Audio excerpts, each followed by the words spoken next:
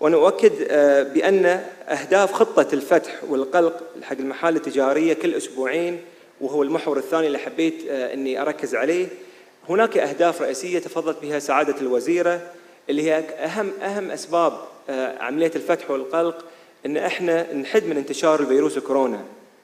والسبب الثاني له هو تقليل معدل العدوى ليصبح أقل من واحد.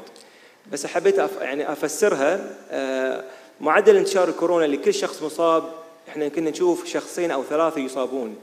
إحنا نحاول في هذه المرحلة التنقل ما بين الفتح والقلق أن نقلل من من نشر العدوى ما بين ما بين الأشخاص في المجتمع. ونحب كذلك نأكد على تقليل الحالات الحرجة وبالتالي نقلل من عدد من عدد الحالات القائمة. هذا ما بيكون إلا في وجود خطة تكون يعني موازية لاستمرار الحياة المعيشية ويعني ربي لك الحمد شفنا مدى فعاليتها في الأسابيع الماضية ونحب أن نستمر فيها آه، إلى أن آه، إن شاء الله ويساعدنا على ذهاب هذه آه، التحدي.